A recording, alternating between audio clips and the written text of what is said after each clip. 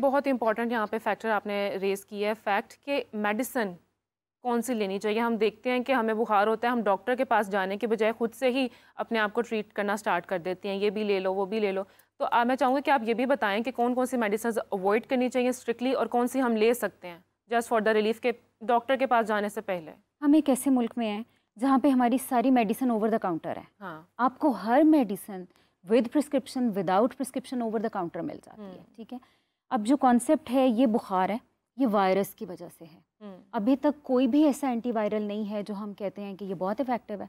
आप दें ये वायरस जल्दी ख़त्म हो जाएगा। तो कोई एंटीवायरल डेंगू के लिए रिकमेंडेड नहीं है। अब जब वायरस का इन्फेक्शन है तो आप इसको एंटी बैक्टीरियल के साथ ट्रीट नहीं करेंगे। एंटी बैक्टीरियल्स का पर्पज़ ये होता है कि वो हैं बैक्टीरिया ठीक है जो भी जरासीम की ख़ास किस्म है। वायरसेस भी जरासीम की एक किस्म है लेकिन हाँ। बैक्टीरिया की मेडिसिन वायरस की मेडिसिन के ऊपर इफ़ेक्टिव नहीं होती। ओके तो पहला कॉन्सेप्ट तो ये है कि बुखार हो गया तो आपकी सबसे पहली एहतियात ये है कि आपने पैरासीटामोल लेनी शुरू कर देनी है। पैरासीटामोल की जो आप पैरासीटामोल यूज़ कर लें कैल्पोल यूज़ कर लें टाइलिनॉल यूज़ कर लें फेबरॉल कर लें ऑल ब्रांड्स आर ओके लेकिन बुखार उतारने के लिए जो बाकी की तीन चार दवाइयाँ यूज़ होती हैं रूटीन में ब्रूफिन नहीं लेना okay. डाइक्लोरैन नहीं, नहीं लेना ठीक है? इसके अलावा किसी भी किस्म के इंजेक्टेबल पेन किलर्स या इंजेक्टेबल फीवर की मेडिसिन जब तक आपका डॉक्टर नहीं कहता आपने नहीं लेनी। लोगों की प्रैक्टिस है कि बुखार जल्दी उतार दो एक कैल्पोल खा लो साथ ही एक ब्रूफिन खा लो। हाँ। तो ये काम नहीं करना। सो टेक होम ये है कि पैरासीटामोल कैल्पोल टाइलिनॉल ये आपके घर पे होना चाहिए। Brufen is all good it's paracetamol okay Dicloran Disprin Brufen ये चीज़ें आपने इस्तेमाल नहीं करनी। अभी बड़ी प्रैक्टिस है लोगों को निम्स का बड़ा ब्रांड नेम याद है? It's a good medicine for other reasons तो लोग खा लेते हैं फौरी तौर पे ताकि जिसम का दर्द ठीक हो जाए। ये प्रैक्टिस भी नहीं अच्छा डॉक्टर मेमुना जब डेंगू होता है आपको तो आप डॉक्टर्स के पास जाते हैं तो ड्रिप्स का एक कॉन्सेप्ट है। मतलब ड्रिप्स बहुत लगती हैं डेली के डेली और इतनी एक्सपेंसिव भी होती हैं। अब हर कोई अफोर्ड नहीं कर सकता तो ड्रिप्स ज़रूरी हैं? डेंगू में ना सबसे पहले मैं जो हो जाती है। मतलब आपके प्रोग्राम के हवाले से लोगों को बताना चाहूँगी। डे थ्री से पहले आप मत सोचें कि आपको डेंगू है। अच्छा। ठीक है? हम बींग डॉक्टर्स हम खुद कहते हैं कि पहले दो दिन का बुखार है डोंट कम टू अस आप सिर्फ़ अपने घर पे एहतियातें करें। एक मिथ बना दिया है कि बुखार के अंदर नहा नहीं सकते। हाँ बुखार में पट्टी नहीं कर सकते। तो प्लीज़ करें। पट्टियाँ भी करें नहाएँ भी पैनाडॉल भी खाएँ। फिर पैनाडॉल का मिथ बना दिया कि दिन में दो दफ़ा लेनी पड़ गई है। तो जो पैनाडॉल है या कैलपोल है हम्म। वो आप दिन में चार दफ़ा ले सकते हैं पाँच दफ़ा भी ले सकते हैं। बस डेंगू में ये होता है कि कभी कभार हेपेटाइटिस का रिस्क होता है तो हम ये कहते हैं कि आप छः से आठ गोलियों पे रिस्ट्रिक्ट कर लें हम्म। इसके ऊपर ना जाए। लेकिन पट्टियाँ करें नहाएँ। अब दो दिन हो गए बुखार को। हम्म। आपको मुस्तकिल पैनाडोल खानी पड़ रही है अलामतें बेहतर नहीं हो रही हैं। तीसरे दिन जाके आप अपना सीबीसी कराएँगे। हम्म। ठीक है। यहाँ पे बहुत बड़ा मिसकनसेप्शन है सुबह बुखार होता है शाम को सीबीसी करा लेते हैं वो ठीक आ जाता है ब्रूफिन खानी शुरू कर देते हैं। तो मतलब टेस्ट फौरी नहीं करवाना नहीं कराना। This is the take home message कम अज कम 48 आवर्स का टाइम दें वायरस को। हम्म। क्योंकि ये वो टाइम पीरियड होगा जिसमें ये हड्डियों के गूदे में जाएगा। नहीं वो तो डॉक्टर्स ही बताएँगे ना। जब आप डॉक्टर के पास जाएँगे डॉक्टर आपको रिकमेंड करेगा कि आपको टेस्ट करवाना या नहीं करवाना। आजकल लोग सीबीसी लेके हमारे पास, पास आते हैं कि सुबह बुखार हुआ था स्मार्ट हो गए तो मैंने सीबीसी करा लिया। सो प्रोग्राम का टेक होम ये है कि पहले दो दिन सीबीसी हम्म। ना करवाएँ डे थ्री पे कराएँ उसके बाद सस्पेक्ट करें। उसके बाद सस्पेक्ट करें। फिर ये है डॉक्टर मेमूना हम्म। यहाँ पर एक कॉलर ऐड करते हैं। हमारे साथ कॉलर मौजूद हैं। जी अस्सलाम वालेकुम। कॉलर कहाँ से? जी। आजकल की हेलो तो बहुत ज़्यादा बात होती है कि दोबारा बोलिएगा ज़रा ऊँचा आपकी आवाज़ बहुत कम आ रही है। आपको जी आप कौन और कहाँ से बात कर रही हैं? सारा बात कर जी। मेरा सवाल ये है कि सीज़न सारा मेरे ख्याल में आपका कनेक्शन थोड़ा वीक है कॉल ड्रॉप हो चुकी है। जी डॉक्टर मेमूना हम बात कर रहे थे। अच्छा मैं एक ना सवाल करना चाह रही थी फ़ीवर के हवाले से। यूजुअली जब आपको नॉर्मल बुखार होता है 101, 102 लेकिन डेंगू में बुखार भी बहुत ज़्यादा आता है 104, 105 तक जाता है। तो इसमें क्या डिफरेंस है? मतलब इतना सवेयर क्यों आपको होता है उसमें? ये डिपेंड करता है कि जो बॉडी के अंदर वायरस है वो कितना रिस्पॉन्स जनरेट करता है हम्म। ठीक है? वायरस अटैक करता है। हमारे डिफेंस सिस्टम को जिसकी वजह से वहाँ से बहुत सारी प्रोडक्ट्स रिलीज़ होती हैं। हम इन्हें कहते हैं कि साइटोकाइंस रिलीज़ हो गई हैं इंटरल्यूकिन्स रिलीज़ हो गए हैं। तो जितना इंटरनल बॉडी रिस्पॉन्स स्ट्रॉन्ग होगा उतना ही फीवर स्ट्रॉन्ग होगा।, फिर दूसरा डेंगू में ये प्रॉब्लम भी होती है कि डेंगू और मलेरिया दोनों में चिल्स आ जाते हैं। सर्दी लग रही होती है। लोग कहते हैं बहुत सर्दी लगती है कब कपाहट हो रही है। हम्म। तो ये दोनों भी कंफ्यूजिंग हो जाते हैं। बट यूजुअली मलेरिया को आप डेंगू से ऐसे डिफ्रेंशिएट कर देते हैं कि मलेरिया में एक पैटर्न होता है। या तो बुखार रोज हो रहा होगा बट एक दफ़ा हो रहा होगा। या हर दूसरे दिन हो रहा होगा या हर तीसरे दिन हो रहा होगा वो डिफरेंट तरह के इसके मलेरिया की स्ट्रेन हैं उसके टाइप अच्छा, हैं। मुझे ना मलेरिया हुआ हुआ है। मलेरिया मुझे जब हुआ था तो मेरे साथ ऐसा होता था कि दिन में मुझे बुखार नहीं होता था रात में मुझे बुखार चढ़ जाता था। तो इस तरह से डिफ्रेंशिएट किया जा सकता है इस तरह से करते हैं क्योंकि ये आपका ऐसा बुखार था जो दिन में एक दफ़ा हो रहा था। हम इसे हम्म। कहते हैं कुटीडियन फीवर था। ठीक है? तो अब इसमें ये प्लाज लाइकली प्लाज्मोडियम मलेरी की वजह से था। इसी तरह प्लाज्मोडियम फेल्सीपैरम होता है तो ये तीन चार हैं जिनकी वजह से पैटर्न डिफरेंट होता है। लेकिन जो डेंगू का फीवर होता है ये परसिस्टेंट होता है। जब ये चढ़ जाता है तो ये चढ़ा रहता चढ़ा रहता है मतलब फिर आप मेडिसिन देते हैं। Medicine hmm. देने से ये मैक्सिमम उतरेगा चार से आठ घंटे के लिए। उसके बाद मेडिसिन का असर ख़त्म हो जाएगा ये दोबारा से स्टार्ट हो जाएगा और वहाँ पे आपको दोबारा लेनी पड़ेगी। लेनी पड़ेगी। अच्छा दोबारा से कॉलर ने हमें ज्वाइन किया है। जी असलम मेरे ख्याल में अभी भी कॉलर का कोई इशू चल रहा है। अच्छा डॉक्टर मेमूना क्या डेंगी में आपकी बॉडी पर कोई रेडनेस या ब्रूजेस वगैरह भी आते हैं कि it's just the fever on body एक? इसमें ना दो रैशेज़ हैं जो डेंगी में आते अच्छा। हैं और तीसरा जो ब्रूज है वो एक्चुअली थोड़ी डिफरेंट चीज़ है। हम्म। जो पहला रैश आता है ना डेंगी का उसमें आपको रेडनेस सी फील होती है। वो छाले नहीं होते सिर्फ़ आपको लगता है कि कोई फ्लैट चीज़ है but my body is red हल्का हल्का सा एलर्जिक रिएक्शन आता है। इंपॉर्टेंट चीज़ ये होती है कि इसमें खारिश नहीं होती हम्म। ठीक है? और ये बुखार के दौरान हो रहा होता है। तो इसको हम कहते हैं कि ये एक्टिव डेंगी फीवर का रैश है। आपने कोई एंटी एलर्जी नहीं लेना कोई स्किन के ऊपर चीज़ नहीं लगानी इसने खुद ब खुद सबसाइड कर हम्म। जो दूसरा रैश डेंगी में आता है ना वो आता है रिकवरी पे जाके।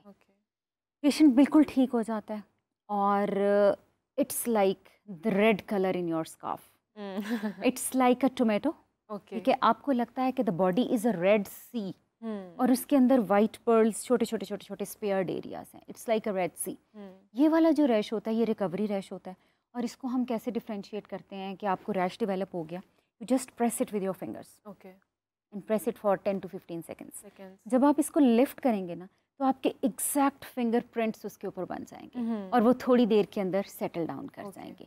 इस टाइम पे बुखार नहीं होता mm. लेकिन इस वाले रैश के साथ इचिंग आती है। ठीक खारिश हो रही होती है। हाथों में बड़ी खारिश है। पाँव में बहुत खारिश होती है। यहाँ पे आप एंटीहिस्टामिन यूज़ कर सकते हैं। हम्म।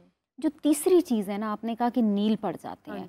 तो नील इज़ समथिंग ब्रूज आपको छोटे छोटे नीले स्पॉट्स लगते हैं या आपको लगता है कि बड़े बड़े नील पड़ गए हैं। ऐसी कंडीशन में दांतों से नाक से यूरिन में स्टूल में किसी भी जगह से खून आ सकता है।, है। ये एक्चुअली हम इसको कहते हैं कि ये ख़तरा हो सकता है। यानी आपका प्लेटलेट काउंट इतना थोड़ा है कि वो ब्लीडिंग को कंट्रोल नहीं कर पा रहा हाँ जिसकी वजह से जिल्द के नीचे ब्लीडिंग होनी शुरू हो गई है। तो दिस इज़ समथिंग जहाँ पे आपको डॉक्टर के पास जाना ज़रूरी है। कहीं पे भी साइन ऑफ़ ब्लीडिंग आ गया चाहे वो हम्म। हल्का सा गम ब्लीड है टॉक टू योर डॉक्टर कि अब मुझे बताइए मैंने क्या तो डॉक्टर के पास जाना सबसे पहले उनसे कंसल्ट करना ज़रूरी है ज़रूरी है। इसी के साथ दोबारा से हमें कॉलर ने ज्वाइन किया जी असलम कॉनर कहाँ से? मेरा नाम सारा है और मैं इस्लामाबाद से बात कर रही हूँ। आपको आवाज़ आ रही है मेरी? जी जी आ रही है। मेरा सवाल ये है कि जब अक्सर पेशेंट्स को डेंगू होता है तो उसमें कहा जाता है कि पपीते का जूस या पपीते के पत्ते का जूस इसके अलावा एप्पल जूस या गन्ने के रस में लीमू निचोड़ के अगर वो वाला जूस हम्म। इस्तेमाल किया जाए तो काफ़ी ज़्यादा फ़ायदेमंद होता है रादर देन यूजिंग टैबलेट्स और मेडिसिन तो क्या ये मेथ है या ये बात दुरुस्त है बिल्कुल? जी बहुत शुक्रिया। थैंक यू सो मच जी डॉक्टर मेनमूना सर आपका बहुत इंपॉर्टेंट क्वेश्चन है। जब शुरू शुरू में डेंगू आया था ना तो since I work with King Edward Medical University we have a very busy emergencies तो जो पेपाया सेल करने वाले लोग थे ना पपीता हम्म। बेचा करते थे वो कहते थे कि डॉक्टर साहब पहले कभी चोरी नहीं होता था अब लोग आते हैं चोरी करके भाग जाते हैं। तो इतना ये इम्पोर्टेंट हो गया है। सारा पहले वन लाइन आंसर ये है कि इट इज़ अ मैथ ठीक हो गया। दुनिया में कुछ स्टडीज़ हैं जो ये कहती हैं कि पेपाया लीव एक्सट्रैक्ट के साथ आपका प्लेटलेट काउंट इंक्रीज़ करता है। इट हैज़ बिन प्रूवन ठीक है?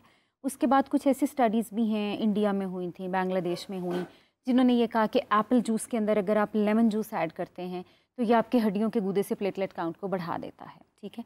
फिर कुछ ऐसी स्टडीज़ भी हुई जिन्होंने कहा कि आप पेपाया पल्प खा लें तो वो इम्प्रूव करता है। लेकिन सबसे इंपॉर्टेंट चीज़ ये है कि इनमें से कोई भी चीज़ डायरेक्टली हम्म। वायरस को किल नहीं करती। किल नहीं करती। ठीक है? और ये कोई रिकमेंडेड ट्रीटमेंट नहीं है। मतलब ऑल अक्रॉस द ग्लोब जो भी हमारी अथॉरिटीज़ हैं कि हम ये रिकमेंड करते हैं कि आप इसको यूज़ करें absolutely we recommend against the use बल्कि उल्टा नुकसान क्या होता तो है? जूसेस पर बहुत ज़्यादा फोकस किया जाता है। ये मैं इसको हाईलाइट करती हूँ जूस पी लो जूस पी लो हाँ जूस पी लो। दिन में इतनी दफ़ा वो इनटेक जारी होती है। माँ बाप को भी समझ नहीं आ रही होती वो डॉक्टर ने कह दिया जूसेस पिलाओ तो जूसेस पे उन्होंने हाथ अब आपका फोकस क्या है कि डेंगी हो गया? होता है। हम्म, सादा पानी। फ़र्स्ट चॉइस सेकंड चॉइस निमकोल हम्म, ठीक है? उसके बाद आप कुछ लेना चाहते हैं चाय आपको अलाउड है दिल करता है पी लें। हम्म। कॉफ़ी लेना चाहते हैं कॉफ़ी भी अलाउड है। आप कोई जूसेस लेना चाहते हैं जूसेस भी अलाउड हैं। लेकिन इसका कॉन्सेप्ट ये नहीं है कि सुबह से रात तक आपका जूस पीना ज़रूरी है। आप अपनी ज़रूरत के मुताबिक दिन में एक दफ़ा चाहिए दो चाहिए दो दफ़ा चाहिए।